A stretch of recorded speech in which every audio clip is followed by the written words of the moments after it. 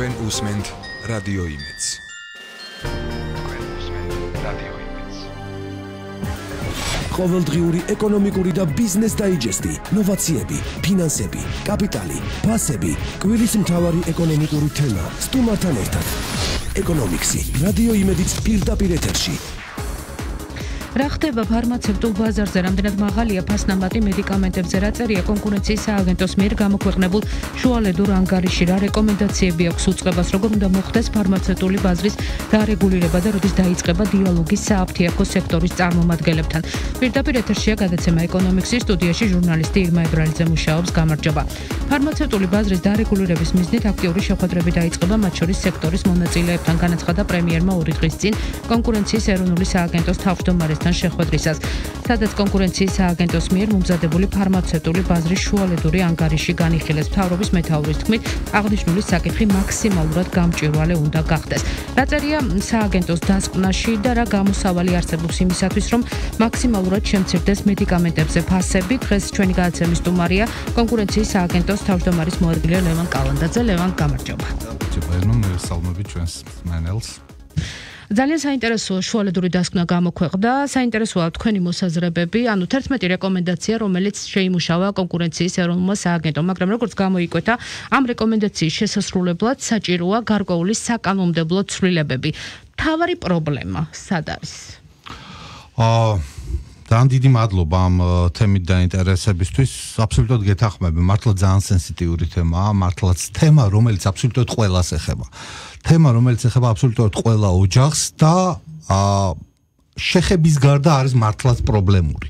ის რომ ბოლო წლებში მნიშვნელოვნად არის გაზრდილი სამედიცინო დანახარჯებში ფარმაცევტულ პროდუქციაზე ოჯახების ადამიანების ხვედრითი წილი არის ერთ-ერთი სერიოზული გამოწვევა და აქედან გამომდინარე ძალიან მნიშვნელოვანი და დროული იყო სწორი აქცენტები გამოიკვეთა ხელისუფლებას, გამოიკვეთა ის პრიორიტეტები, რომელზეც ამ თვალსაზრისით უახლოეს პერიოდში ის იმუშავებდა. კონკურენციის სააგენტომ ჩაატარა საკმაოდ მოცულობითი სამუშაო, პრაქტიკულად სამი წელი დაგჭერდათ, ხო? სამი სამი წელი. პრინციპში ეს სამუშაო გასული წლის ბოლოს უნდა დასრულებულიყო, თუმცა პანდემიის გათვალისწინებით ბაზარზე არსებული გამოწვევების და გარკვეული სა საფასო თუ თამაშის წესების კონიუნქტურის სრულების გათვალისწინებით მიზანშეწონილად ჩაითვალა, რომ სწორედ 2021 წლის ბოლოსთვის დასრულებულიყო ეს კვლევა. ეს კვლევა პრინციპში დასრულებულია, გარკვეული ტექნიკური სამუშაოებია ჩასატარებელი. მიმდინარე წლის დარჩენილი პერიოდის მონაცემები არის კვლევაში ასასახი და აქედან გამომდინარე საბოლოო ვერსია, საბოლოო კვლევა მათ შორის ის მოცულობითი დოკუმენტი, რომელიც ბაზრის ბაზარზე არსებული ტენდენციების უფრო სიღრმისეულ კვლევას ითვალისწინებს წლის ბოლოს იქნება დადებული, თუმცა შუალედური კვლევა მოიცავს უკვე იმ ძირითად რეკომენდაციებს და სავარაუდოდ ეს რეკომენდაციები უკვე აღარ შეიცვლება და ეს არის წარმოქმნილი. დავიწყოთ აბა მთავარი, მთავარი რეკომენდაცია. მთავარი რეკომენდაცია არის ის, ახლა ჩვენ საერთოდ შემოსვლამდე საუბრობდით, რომ შენ წლებია მიყავს უკვე ეკონომიკური გადაცემა და ეკონომიკაზე, ბიზნესზე, ბიზნეს გარემოზე როცა საუბრობთ, ერთ-ერთი მნიშვნელოვანი ფაქტორი არის მოთხოვნა მიწოდების ბალანსი. აა კონკურენციის სააგენტო არ ერევა საფასო პოლიტიკაში და კონკურენციის სააგენტოს მანდატი არ არის ფასების კონტროლი. კონკურენციის სააგენტოს მანდატი და მთავარი ამოცანა ამ თვალსაზრისით იყო კონკურენტული გარემო და მოთხოვნა მიწოდების მაქსიმალურად საბაზრო პირობების გათვალისწინებით ფორმირება. თუმცა ერთ-ერთი რეკომენდაცია არის თქვენი რომ თავისუფალი ფასწარმოქმნის პოლიტიკის გადახედვა. მივალთ. ოღონდ ეს არ ეხება ზოგადად ფასწარმოქმნას, ეს არის კონკრეტული დეტალი, რომელიც ევროკავშირში აპრობირებული. ერთს გაუსვამ ხას. უბრალოდ ორ მნიშვნელოვან საკითხს. პირველი არის ის, რომ კონკურენციის სააგენტოს ველოსიპედი და რამე ახალი არ მოუგონია. ჩვენ შევისწავლეთ პრაქტიკულად ევროკავშირის ქვეყნების ის და არამხოლოდ ევროკავშირის ქვეყნების ის წარმატებული პრაქტიკა, რაც ფარმაცევტულ ბაზარზე აა თამაშის წესების მაქსიმალურად ოპტიმალური და რაციონალური აა რაციონალური ასე თქვა პირობების ჩამოყალიბებას ითვალისწინებდა და მეორე მნიშვნელოვანი საკითხი. ცალკე აღებული რეკომენდაცია ხაზგასმით უნდა აღნიშნო. თალკე რომელიმე ერთი კონკრეტული რეკომენდაცია, რომელიც კონკურენციის ეროვნულმა საანკეტომ გასა, თავისთავად ვერ იქნება ამ პრობლემის მოგვარების და პრობლემის გადაწყვეტის გასაღები. ძალიან მნიშვნელოვანია ჩვენ ამას მიუძგეთ სისტემურად და თანმიმდევრულად, პრაქტიკულად ყველა ის საკითხი, რა საკითხსაც ითვალისწინებს ეს რეკომენდაციები იქნას გათვალისწინებული. მოთხოვნა მიწოდება. ბაზარზე მოთხოვნა მიწოდებას ფარმაცევტულ ბაზარზე სამწუხარო დაყალიბებს არა მომხმარებელი, არამედ აა სამეცინო სექტორი. ანუ ანუ რას გულისხმობთ კონკრეტულ მედიკამენტზე კონკრეტულ მედიკამენტზე რა მოთხოვნა იქნება, ეს დამოკიდებულია არა მომხმარებელზე, მედიკამენტის მომხმარებელზე, არამედ იმაზე თუ რა მედიკამენტს გამოუწერს აა ექიმი პაციენტს. და შესაბამისად მიწოდებას უკვე აყალიბებს ფარმაცევტული სექტორი. აი ამ გარკვეული პრობლემური საკითხის მოგვარებას ანუ თქვენ ახლა მიანიშნებთ რომ ექიმი უწერს მაღალფასიან წამლებს. იცით რა ექიმი უწერს წამალს და აქედან გამომდინარე მომხმარებელი იცი რა არის არჩევანის საშუალებას არავინ არ უსპობს. ფორმალურად, მაგრამ აი წარმოიდგინეთ თქვენი კონკრეტული кейსი, როცა გაქვთ დაზღვევა, მიდიხართ ექიმთან და მე სპეციალურად წამოგიღეთ კონკრეტულ მედიკამენტებზე საინტერესო მაგალითია და ისმეთ კონკრეტული ფასებით განვიხილო ჩვენი მსმენელისთვის მე მგონი საინტერესო იქნება.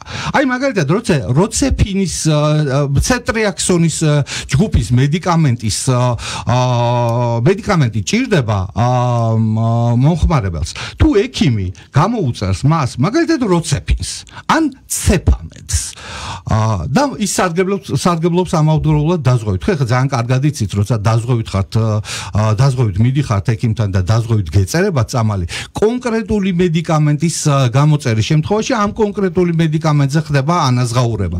დაზღვა არაუნაზღა არან და არაუნაზღაურებს სხვა არჩევას. ერთი 100 როცა შეძლია. რეალურად როცეფინი, ცეფამედი, აბიტრაქსი, მედაქსონი, ყველა ეს წამალი არის აქტიური ნივთიერება ცეპტრიაქსონი. ცეპტრიაქსონის ფასი აბსოლუტურად აბსოლუტურად ეხა ფასების აბსოლუტურად ერთი და იგივეა. ცეპტრიაქსონის ფასი საქართველოში იწყება 95 თეთრიდან ქართული წარმოების, ცეპტრიაქსონი ბელორუსის წარმოების არის ლარი და 65, კვიპროსის წარმოებული ცეპტრიაქსონი საფირმო სახელწოდებით მედაქსონი არის 8 ლარი და 30 თეთრი, იტალიის ანალოგიური წარმოება აბიტრაქსი არის 10 ლარი, როცეფინი შვეიცარიის არის 28 ლარი, ცეფამედიც ეგვიპტის წარმოების არის 28 ლარი. ანუ რა გამოდის? ანუ მხოლოდ ფასებშია სხვაობა და არა შემოქმედებაში. აბსოლუტურად ერთი და იგივე აქტიური ნივთიერებაა. ანუ ეს არის გენერიკი ცეპტრიაქსონი, აქტიური ნივთიერება ცეპტრიაქსონი არის განსხვავება საფირმო დასახელებაში. ანუ თქვენ თუ გამოგიწერათ ექიმა მაგალითად ცეფამედი რომელიც არის ეგვიპტის წარმოება. აფთიაქში მიდიხართ, დაზღვევით ყიდულობთ, იხდით 28 ლარს, მაგრამ ამავდროულად რეალურად იგივე წამალი, რომელიც არის მაგალითად კვიპროსის წარმოების. არ ვიტყვი მაგალითად ქართული წარმოების, ხო, რაღაცა ისეთი დამოკიდებულება აქვს ხოლმე ქართული წამლების. კაი, გავანებოთ ქართულ წამალს. მაგალითად აბიტრაქსი იტალიური იგივე და იგივე მედაქსონი კვიპროსის წარმოების, რომელიც შესაბამისად 8 და 10 ლარი.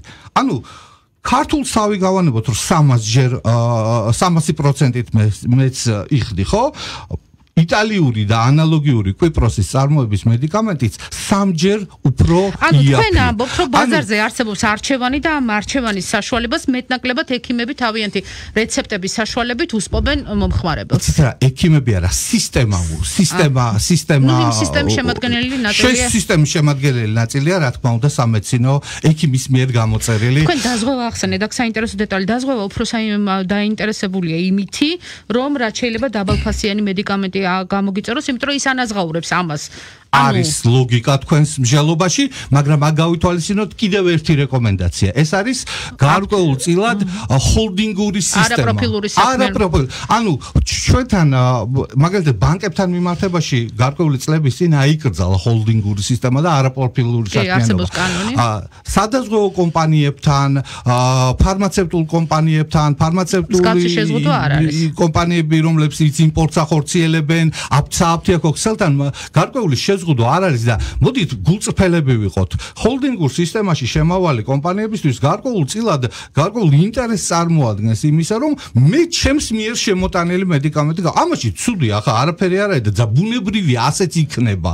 თუ სახელმწიფო გარკვეულ შემაკავებელ კანონმდებლობას, გარკვეულ ბარიერს არ დაუწესებს, ბაზარზე არსებული აა გამოწვევების გათვალისწინებით მომხმარებლის უფლების დაცვის ყველა ანუ შეიზღუდოს საფიაქო ბაზრის ჰოლდინგური და არაპროფილური საქმიანობა. ეს არის თქვენი ერთ-ერთი მთავარი რეკომენდაცია. რომელსაც საკანონმდებლო სიახლე საკანონში ცვლილება ჭირდება. კანონში ცვლილება ჭირდება კანონში ცვლილება კიდევ ბევრ რამეს ჭირდება. მაგალითად?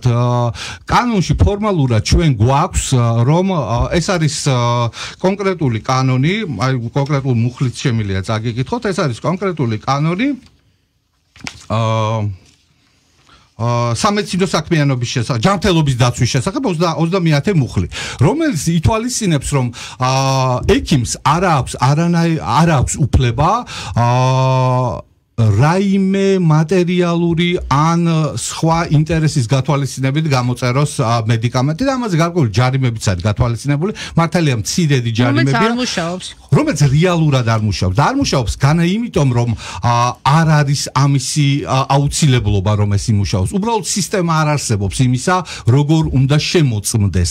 არის თუ არა მიკერძოებული კონკრეტული მედიკამენტთან კონკრეტულ მწარმოებელთან კონკრეტულ ფირმასთან მიმართებაში მუხლის გამკაცრების ინიციატივით ერთის მხრივ გამკაცრები და მეორე აი როცა ჩვენ საუბრობთ სარეცეპტო სისტემაზე რომელიც ევროპაში არის ძალიან კარგად აპრობირებული და ძალიან კარგად ადაპტირებული ეს რეცეპტის სისტემა ერთის მხრივ იძლევა იმის საშუალებას რომ პაციენტს გამოუწეროთ არა რომელიმე კონკრეტული აი ჩვენ როცა საუბრობდით რომელიმე კონკრეტული ბრენდის მედიკამენტი არამედ გამოუწეროთ აქტიური ნივთიერება მაგალითად ცეპტრიაქსონის შემთხვევაში გამოუწეროთ არა როცე ცეფინი, არა ცეფამედი, არა აბიტრაქსი, რომელიც ზვირიღეს. არამედ გამოწეროთ აქტიური ნიუტერება ცეფრიაქსონი, რომელიც თავისთავად მე უკვე მომხმარებელი გადაწყვეტს, რომელი კონკრეტული შემთხვევაში, რომელი კონკრეტული მედიკამენტი შეიძინოს, თურქული, ესპანური, იტალიური თუ შვეიცარიული, ეს უკვე მის ჯიბეზეა დამოკიდებული, ხო?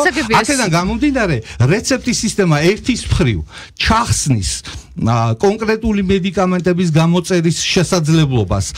არაკეთილსინდისიერი მხარის მიერ ერთის მხრივ მეორეს მხრივ უკვე მოთხოვნის ვექტორს გადმოიტანს პაციენტზე. ანუ პაციენტი თვითონ გასაზღვრავს მოთხოვნა როგორი იყოს მაგრამ თქვენ გქონთ ერთი რეკომენდაცია რომ მხოლოდ გენერიკული რეცეპტი დანიშნულება. რატომ მხოლოდ? თუ თქვენ ამბობთ რომ არჩევანის საშუალება უნდა გქონდეს მომხმარებელს ანუ უნდა დაავალდე კანონმდებლოს კანონმდებლობამ რომ მხოლოდ გენერიკული რეცეპტი გამოწეროს ევროპაში არის ესეთი პრაქტიკა. ძალიან ბევრ ქვეყანაში ხდება გენერიკული საშუალების გენერიკული მედიკამენტის ანუ აქტიური ნივთიერების გამოწერა რიგ შემთხვევებში შესაძლებელია მითითებული იყოს ჩამანაცვლებელიც ან რიგ შემთხვევაში შესაძლებელია იყოს მითითებული კონკრეტული მედიკამენტიც მაგრამ გამოწერა უნდა მოხდეს მხოლოდ აქტიური ნივთიერების. ამასაც საკანონმდებლო ცვლილება ჭირდება ამასაც ბუნებრივია საკანონმდებლო საკანონმდებლო ცვლილება ჭირდება. საკანონმდებლო ცვლილება ჭირდება ზოგადად რეცეპტის სავალდებულობის პრაქტიკის ამოქმედებას.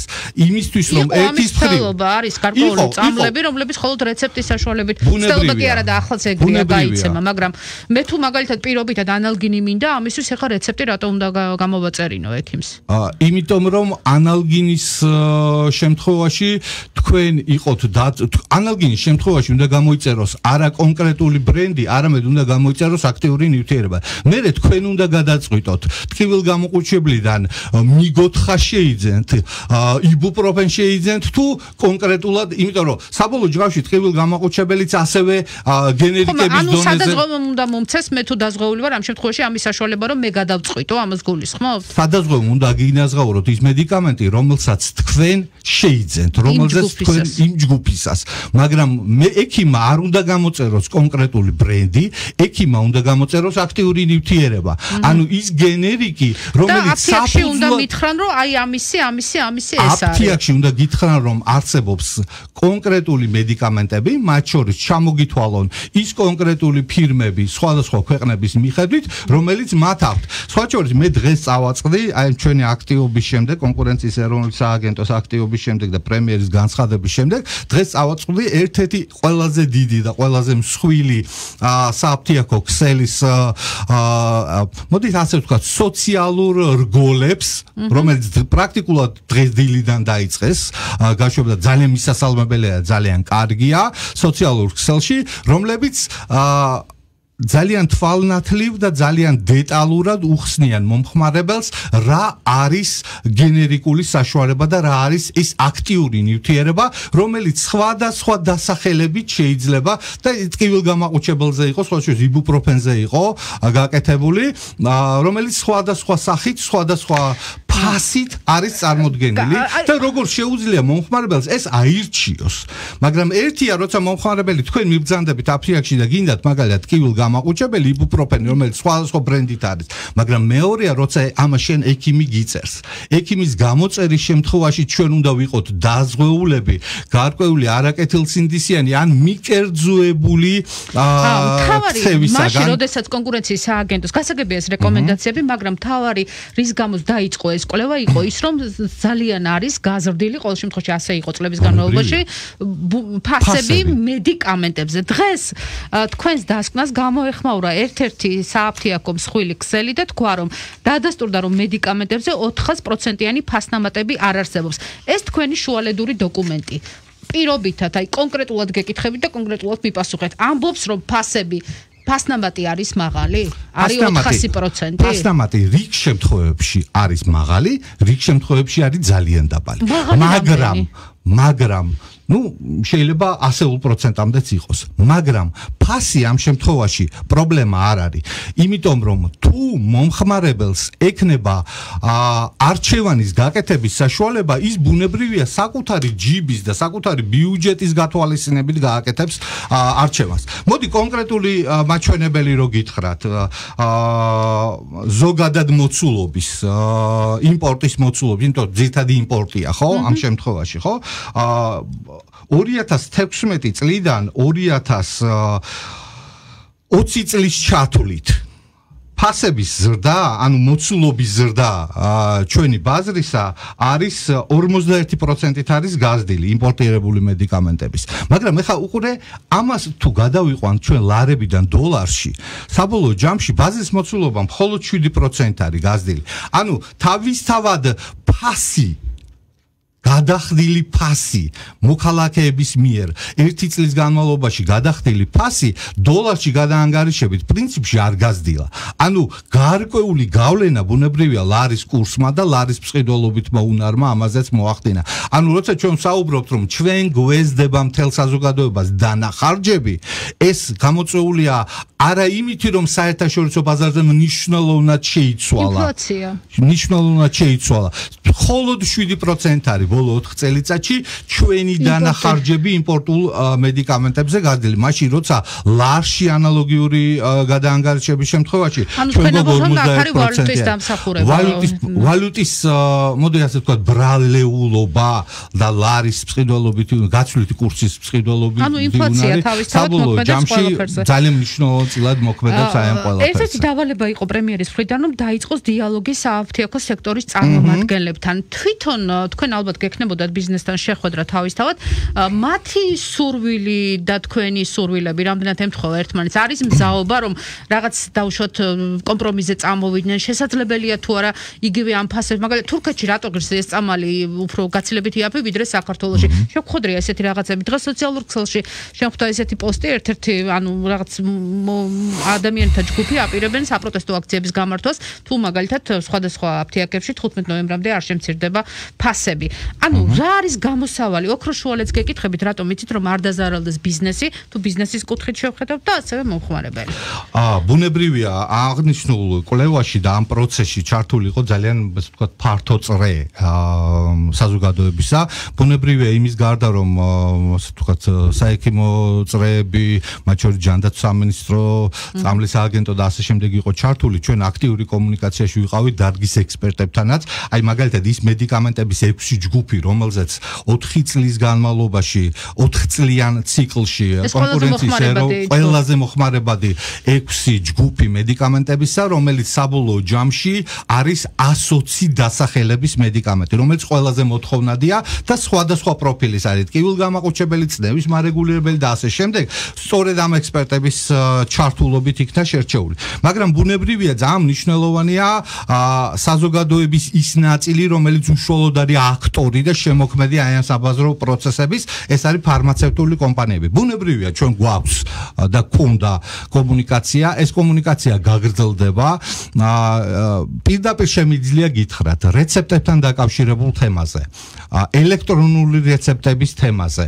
თემა დაკავშირებული გენერიკების რეცეპტში ასახვის თემასთან დაკავშირებით. არის სრული გაგება და პირიქით მსხვილი საფთიაქო ქსელები. ეხა ის სამი ძირითადი მოთამაშე, რომელიც ბაზრის დაახლოებით 68-70%-ს დღესდღეობით სობით მოიცავს და რეალურად მათ საბაზრო ძალაუფლება ამ თვალსაზრისით აქვთ, ისინი ძალიან პოზიტიურად და ძალიან კარგად ხვდებიან ამ თემას, ანუ მათ ძალიან კარგად იციან, რას ნიშნავს რეცეპტის სისტემის დანერგვა, რას ნიშნავს ის, რომ ეს რეცეპტი უნდა იყოს ელექტრონული და სახელმწიფო კონტროლის მექანიზმები ამ თვალსაზრისით უნდა გაძლიერდეს. ძალიან კარგად იციან, რას ნიშნავს გენერიკის, ანუ აქტიური ნივთიერების აქტიური ნივთიერების საზოგადოება უნდა გაიგოს, მომხმარებელმა როგორ უნდა გაიგოს ეს. საინფორმაციო კამპანია ვინ უნდა აწარმოოს ამას? ყველამ ერთად უნდა ვაწარმოოთ კონკურენციის ეროვნულმა სააგენტომ, ჯანდაცვის სამინისტრომ, აა თავრობამ და თავად კომპანიებმა. ისინი ძალიან გაგებით და ძალიან კარგად ხვდებიან ამ საკითხს.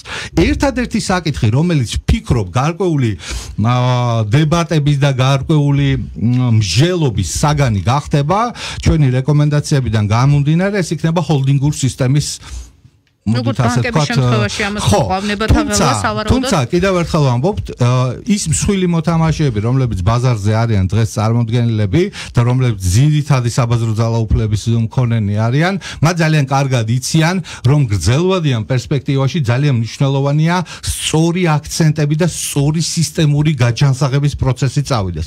მე ვფიქრობ ამ თვალსაზრისით იქნება საკამათო იქნება სამჟელი რიგ შემთხვევაში ჩხუბიც მოგვიწევს მაგრამ სწორი არგუმენტების, სწორი მაგალითების, მათ შორის ევროპული მაგალითების წარმოქმნის შემთხვევაში ჩვენ საბოლოო ჯამში ისევე როგორც სხვა საკითხებთან მივედით გარკვეულ კომპრომისზე, ამ შემთხვევაშიც მივავალთ. როდის იქნება ეს საკანონმდებლო ინიციატივები მზად და როგორ ფიქრობთ, როდიდან შეიძლება დაიწყოს პროცესი? იმიტომ ეს არ არის ხვალ ვერ მოგვარდება ეს პრობლემა ცხადია. ბუნებრივია.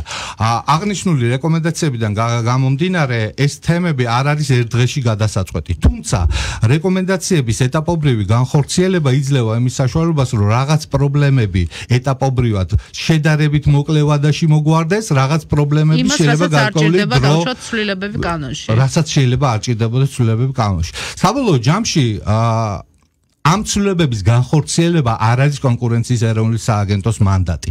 თუმცა კონკურენციის ეროვნული სააგენტო მაგრამ გავალოთ ხარ ჩართული ამ პროცესში. არა მარტო ჩართულები ვართ ერთ-ერთი მთავარი მოთამაშეები და აქტორები ვიქნებით ამის განხორციელების პროცესში. არის ნახოთ საბოლოო ჯამში ამ ცვლილებების მომზადება დამოკიდებულია მთავრობისა და საკანონმდებლო ხელისუფლების ანუ პარლამენტის ნებაზე.